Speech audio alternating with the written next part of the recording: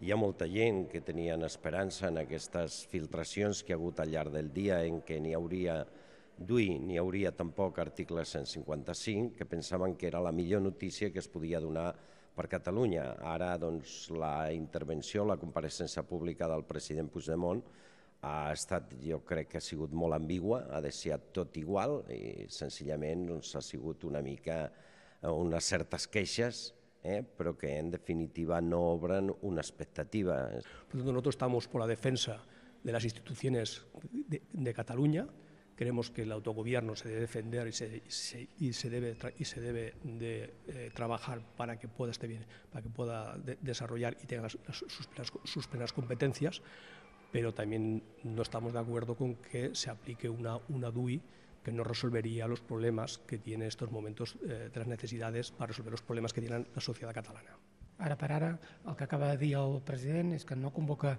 eleccions i això no és una cosa menor. Aquest país té un, man un mandat democràtic, de fet en té dos, té el mandat democràtic del 27 de setembre i té el mandat democràtic de l'1 d'octubre.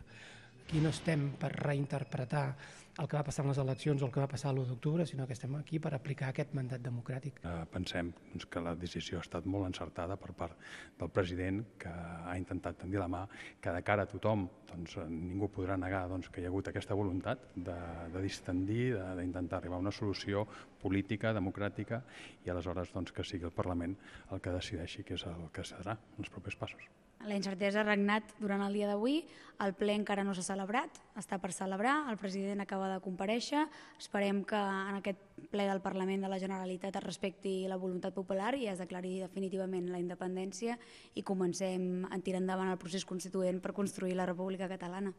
Si no es convoquen eleccions i es continua per la via unilateral, una via no reconeguda per ningú, una via que no té suport ni de la immensa majoria dels ciutadans de Catalunya ni de la comunitat internacional, estats europeus i institucions europees, si es continua per aquesta via, òbviament, l'obligació de tot governant que jura complir i fer complir o promet la, fer complir la llei és aplicar la mateixa.